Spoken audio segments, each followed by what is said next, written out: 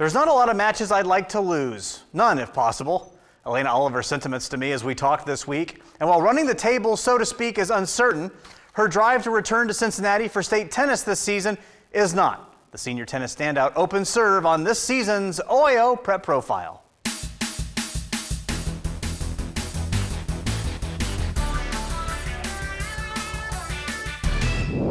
Bath senior Elena Oliver already has a number of accomplishments under her belt, including a trip to state last season with her sister Anne.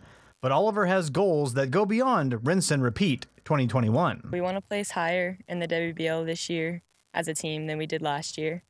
My sister and I, we want to be able to go back to state again. It was a great experience, and we'd love to experience that again. Individually, for the regular season, there's not a lot of matches I would like to lose. None at all, if possible having made the trip to Lindner once, has only whetted the appetite to get back there again. It's a goal that we've had for a really long time. So just being getting to be there, uh, the Cincinnati courts are awesome. Uh, I mean, professionals get to play there, so that's cool. A competitive spirit is required to make that trip, and girls tennis coach Sandy Dakin says Oliver has plenty, and it filters down to her teammates as well. Elena, first of all, is an athlete that's never satisfied, so continual improvement throughout her four years.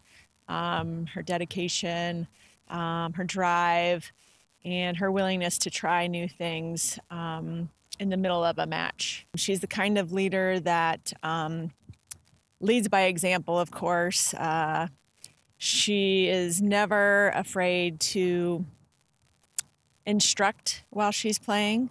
Um, she's well trained, so she's able to do that um, tactfully.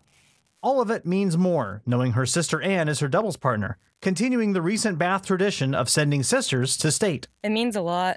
Uh, we spend a lot of time together on the tennis courts and our other two sports that we play as well. We're with each other for a long time uh, every day, and I think it's brought us closer.